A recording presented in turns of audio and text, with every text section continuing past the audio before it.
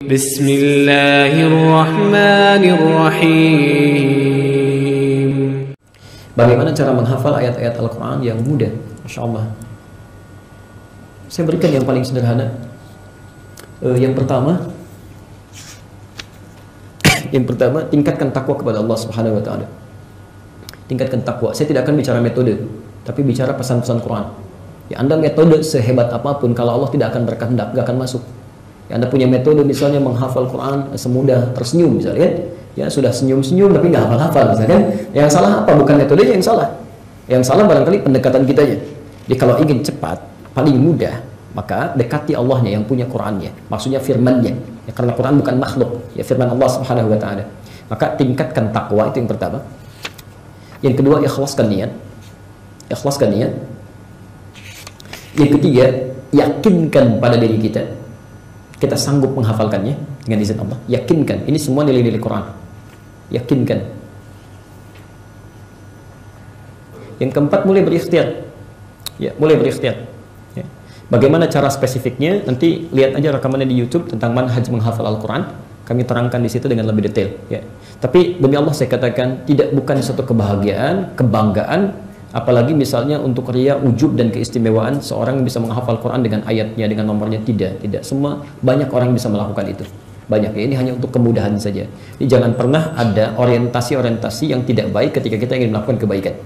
Termasuk saya ingin memberikan pesan pada ayah dan ibu ya antum semuanya yang menginginkan uh, hafal Quran termasuk anak-anaknya pesan saya jangan pernah antum belajar menghafal Quran dengan tujuan menjadi hafid salah satunya ya kalaupun tidak dipersalahkan tapi itu sudah mengurangi keikhlasan ya. kalau antum ingin menghafal Quran hafalin saja terserah Allah mau dikasih atau tidak terserah Allah Bahkan kadang-kadang ada yang Allah buat nggak hafal-hafal dalam kisaran waktu yang cukup lama.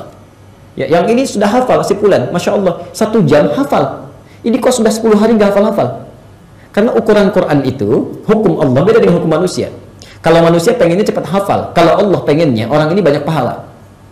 Ya si fulan itu hafal satu jam karena pahalanya sudah banyak. Kamu ini dulu jangan baca Quran, ya beramal juga jarang. Saya lamakan supaya pahala terus mengumpul. Bukankah satu huruf ya 10 kebaikan?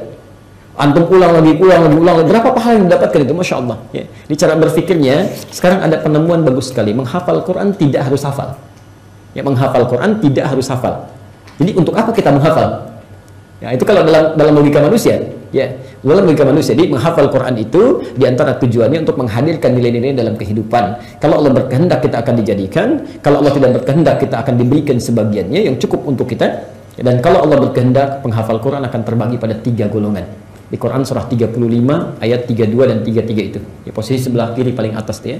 Wa minhum zalimu li nafsih. Ada penghafal Quran zalim bagi dirinya. Ada. Itu yang salah niat di awalnya. Bapak Ibu jangan kira penghafal Quran semuanya baik. Ada penghafal Quran penipu ada. Ya, penghafal Quran pendusta ada. Penghafal Quran macam-macam ada, ya. Hafal ayatnya tapi korupsi juga. Saat korupsi sedang tidak ingat ayatnya. Ya, setelah ditangkap baru ingat lagi gitu kan. Itu ada yang begitu.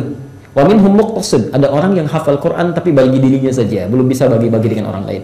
Mojok di masjid, buka-buka mushaf, ngulang-ngulang, itu muqtasid. Yang terbaik sampai kemil khairat, yang bisa berbagi kebaikan dari nilai-nilai Quran yang dimaksudkan. Itu yang harus kita cemburui.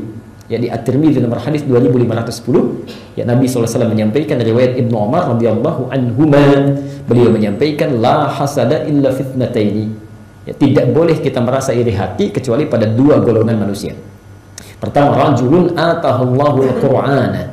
Dalam riwayat lain, atahullahu al-hikmata. Ya, fayaqulu bihi ana al-laili wa atrafan nahar. Seorang yang Allah anugerahkan Quran pada dirinya, lalu dia mempraktikkan Qurannya setiap pagi dan malamnya, setiap waktu dia gunakan. Masya Allah, harus iri tuh. Ya. Ada orang bernama Mu'ad. Mu'ad, Masya Allah, usia 4 tahun, matanya buta. Ingin menghafal Quran, sampai hafal. Ketika hafal ditanya oleh orang lain, dia wawancara apa motivasi Anda menghafal? Kata anak ini yang belum dihisab pada waktunya, ya, usia 4 tahun. Kata anak ini saya menghafal Quran, berusaha ingin membawanya ke hadapan Allah. Yaumul hisab, di hari hisab saat kiamat. Saat saya tidak ditemani oleh siapa pun, tangan saya bergetar, kaki saya bergetar. Saya akan katakan di hadapan Allah. Saya akan katakan di hadapan Allah. Allah, ya Allah, kata anak ini. Ya Rabb, ya Rabb. Jika memang kedatangan saya saat ini masih membawa dosa yang layak untuk dihukum, saya sudah berusaha menghafal Quran dalam keadaan mata saya buta. Mohon kurangi hukuman saya dengan Quran yang telah saya bawa ini. Anak 4 tahun, mata buta, berusaha menghafal Quran, membawa bekal pada Rabbnya, supaya dikurangi hukumannya. Padahal dia belum layak untuk dihukum. Belum taklif, belum berlaku baginya. Ada orang usia 40 tahun, diberikan oleh Allah masa yang cukup panjang. Matanya sehat, fisiknya kuat. Masya Allah, jangankan untuk menghafal, untuk membaca pun belum ada motivasi. Butuh berapa lama lagi waktunya? Ya, maka kita harus saling mendoakan, jangan mencela. Saling doakan, saling menguatkan, supaya kebaikan-kebaikan itu bersinergi satu dengan yang lainnya.